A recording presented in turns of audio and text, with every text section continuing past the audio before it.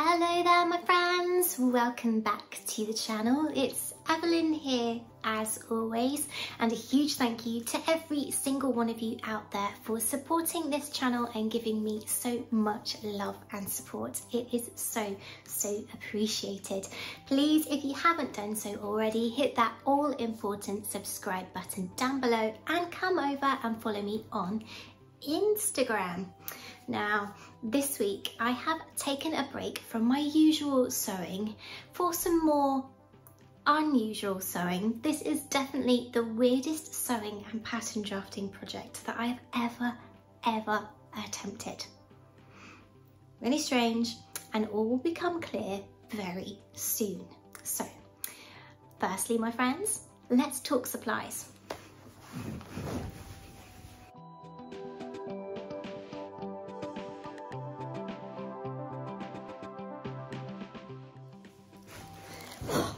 Okay, so supplies that I need today for this rather unusual project are a tape measure, some tracing paper, a pair of very sharp scissors, a highlighter pen, and this week I'm dispensing with my usual Sharpie because I don't want there to be any chance of Sharpie marking the project that I am drafting from.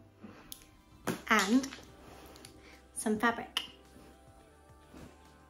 Oh, and a sense of humour, a great deal of love for your husband, and a supercar.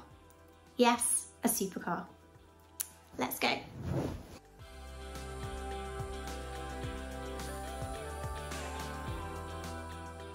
This is Layla, my husband's Lamborghini Gallardo Spyder. We've been her proud owners for nearly a year, which for my husband is a personal record because he gets bored very, very easily. I've not passed my driving test yet, but crazily, I'm on the insurance for this as a learner.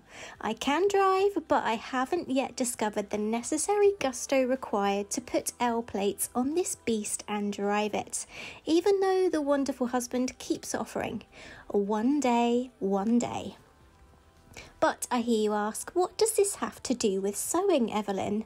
Well, we recently built this wonderful carport to house the bull and her many ponies, but the neighbourhood cats have taken to wandering around on top of Layla and sleeping on her roof.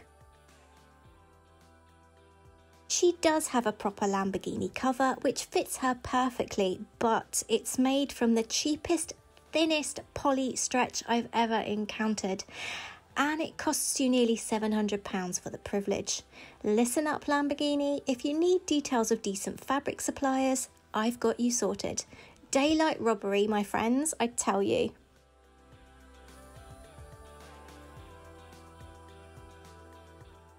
So to protect her roof from those kitty claws, I'm going to attempt to create a protective roof cover for her to sit underneath the Lamborghini cover. Let's give it a try. This is definitely the weirdest pattern drafting and sewing project I have ever tried.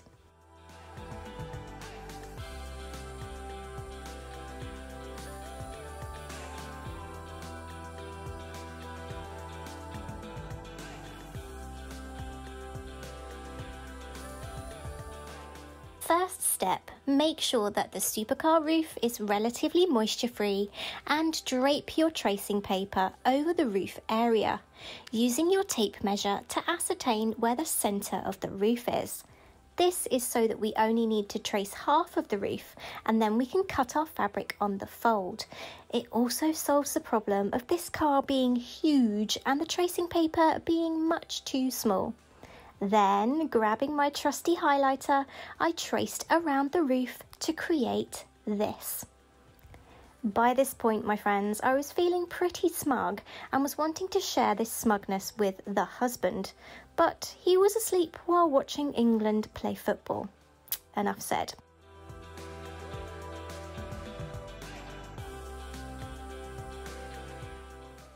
So, pattern drafted, let's talk fabric.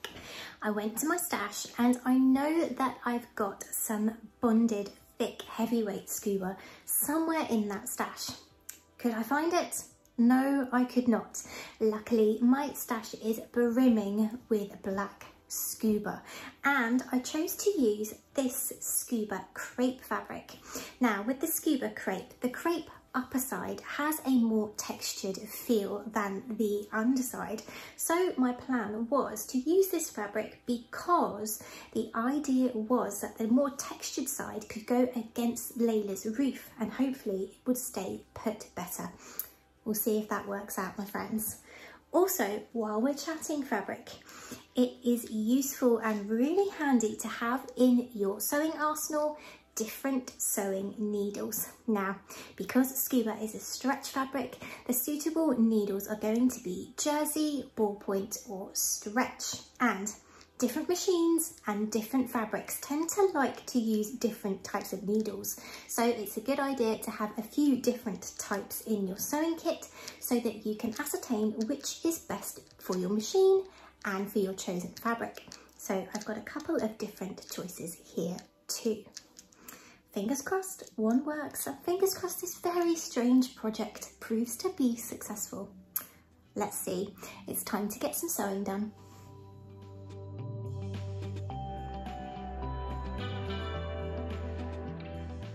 Plan is to cut out two of this pattern piece that I've created on the fold and then simply lay them on top of each other before stitching around the outside. I'm doing this rather than stitching them right sides together to avoid bulky seams so that the cover will sit more flush against the car roof. Because scuba doesn't fray, I don't need to worry about messy or disintegrating edges. To check the fit, I cut out a single piece and placed it over Layla and I'm happy to say it was a perfect fit. Some seriously boss pattern drafting here, my friends. To stitch the pieces together, I'm using a wider zigzag stitch and my usual polyester thread. This fabric and machine preferred the stretch needle size 90, with the Jersey 100 needle skipping stitches. Naughty, naughty. It's simple sewing today, with all the brain power going to the initial, how on earth am I going to do this, thinking at the start. But did it work, my friends? Let's check out that reveal.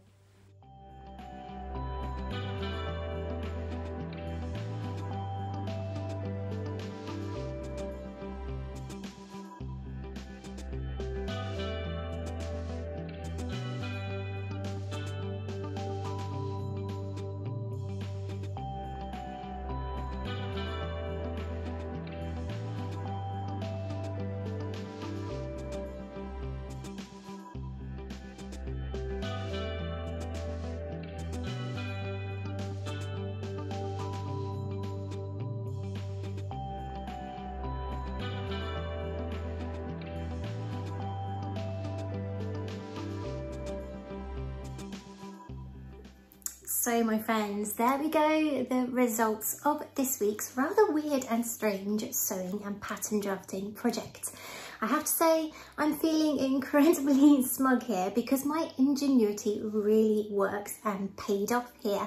The cover fits the car perfectly. Some absolutely boss pattern drafting skills there, even if I do say so myself and I'm pleased and proud to report that this cover has actually stopped any dirt, moisture and cat related damage to the roof. So success all the way around and there are some major wife brownie points on their way. I'm hoping, anyway, husband, we'll see. But I hope you enjoyed coming on this little unusual sewing and pattern drafting journey with me here this week, my friends. But until next week, you know the drill. Stay safe, be kind to yourselves. Take care, my friends. Bye.